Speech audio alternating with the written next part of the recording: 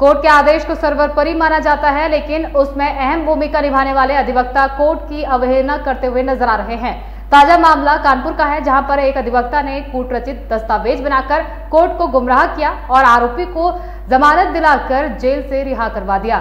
Kanpur POCSO court पर एक बड़ा फर्जीवाड़ा सामने आया है। कोर्ट द्वारा जमानत निरस्त करने के आदेश की कोर्ट रचना कर जमानत विकृत का आदेश बनाया और परवाना बनाकर आरोपी को जेल से रिहा कर दिया। पीड़ित के अधिवक्ता ने शिकायत पर जिला जज ने जाँच करवाई तो कोर्ट के पेशकार की मिली भगत सामने आने पर उसे निलंबित कर दिया गया है।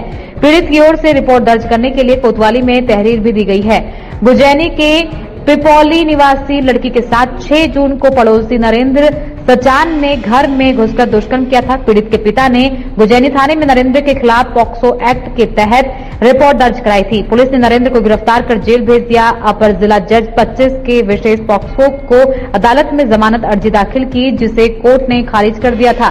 कोर्ट का आदेश ऑनलाइन ई कोर्ट पर भी अपलोड कर दिया गया था। इसके बावजूद एक सप्ताह में ही नरेंद्र जमानत पर जेल से बाहर आ गया और पीड़ित के घर पहुंचकर उसे धमकाने लगा। पीड़ित ने जब अपने अधिवक्ता नरेश मिश्रा के माध्यम से कोर्ट में जानकारी की तो पता चला कि संबंधित न्यायालय के पेशकार अश्वनी नरेंद्र के पैरोकार व अधिवक्ता की मिलीभगत से फर्जीवाड़ा कर जमानत निरस्त के आदेश को स्वीकृत के आदेश में बदल दिया गया था। नरेंद्र की जमानत दाखिल कर उसकी रिहाई परवाना जेल भिजवा दिया गया था। वहीं पेशकार के खिलाफ रिपोर्ट हो गई है।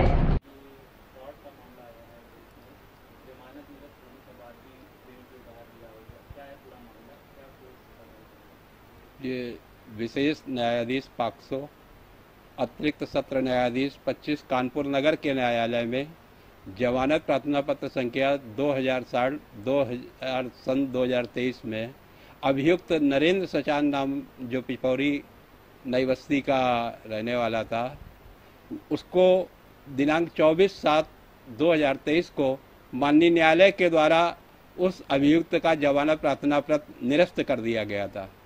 जबकि उसके बाद उसने कहीं भी अतिरिक्त अपनी उस आदेश के विरुद्ध नहीं जाकर पेशकार के ज़रिए एक कूट रचित फर्जी जमानत आदेश तैयार कराकर उस पत्रावली पर लगवा दिया और जो निरस्ती आदेश था उस पत्रावली से गायब करा दिया गया।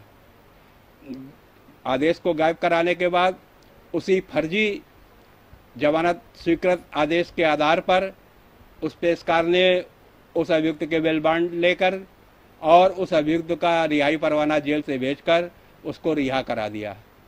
रिहा होने के बाद जब वह अभियुक्त, जो इस मुकदमे का वादी है, उसको जाकर धमकी देखा देता है कि देखा, हमारे पास इतना पैसा है कि मैं, तुमने मेरा क्या बिगाड़ लिया? तो वो हैरान होता पुनः उस फ़ोन करता है और पूछता है कि वकील साहब, आपने तो कहा था जमानत खारिज हो गई है। और ये तो घर पे आ गया मुलजिम। तब आकर यहाँ जब पता कराया जाता है, तब ये पता चलता है कि उस पत्रावली में वह जमानत, अस्वीकृत का जो आदेश है, वो गायब करके और उसके स्थान पर एक फर्जी जमानत आदेश लगा दिया गया और उस आदेश से वो बाहर हो गया है।